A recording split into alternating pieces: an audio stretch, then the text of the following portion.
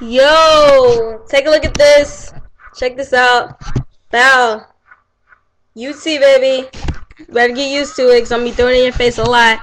I was I spent like the whole day at Finish Line shopping. I love the shop, man. I love clothes. They have these NCAA hoodies for like any team for two for 40.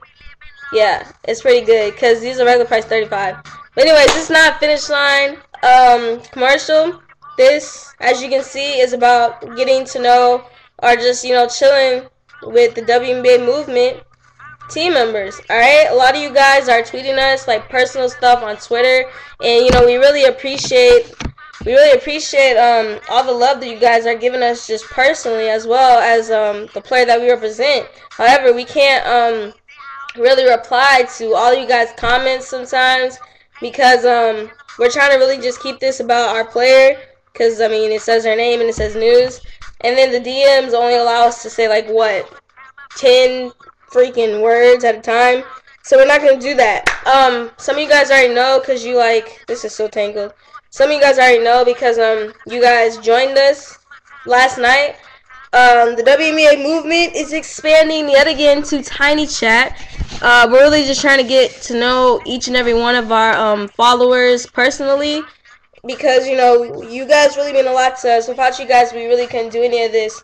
Um, so yeah, we're trying to do like every Friday night or like Saturday, just a weekend. You know, where we're trying to just um get on Tiny Chat with you guys and um just talk about whatever you want. It doesn't even have to be about basketball. If you want to ask us questions about the movement and where we're headed in the uh, months to come, then you can. But um, you can ask us anything honestly on there. Uh, what is our dog's name? Do we like rats? Like, I don't know. Just anything you want, you guys can ask us that because that's um that's our bonding time that we are gonna make, especially for you guys. And my screen just went black. I don't know why it keeps doing that. But um, and you do have to have a webcam to like in order for us to see your actual face. But even if you don't have a webcam, even even if you have a mic, we can hear you and listen to you, and you can hear us.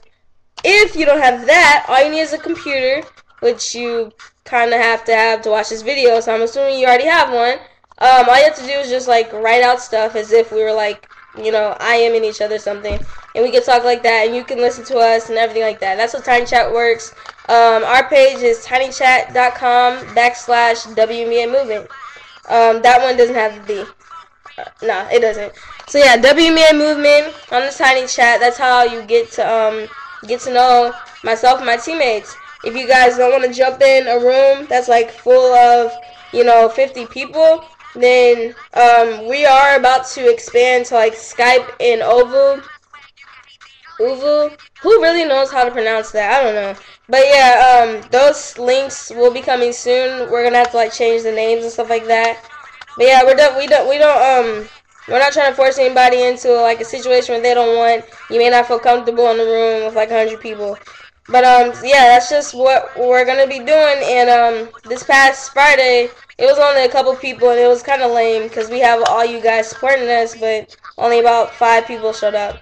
But we still had fun. Um, the person that got on there stayed with us for like two hours. You know, it was real cool. And you get you get like the inside scoop on where the WNBA movement is headed and stuff like that. So um, shout out to those people that um talked to us, and um shout out to everybody that really wants to be a part of this movement. We love y'all, and um that's pretty much all I gotta say.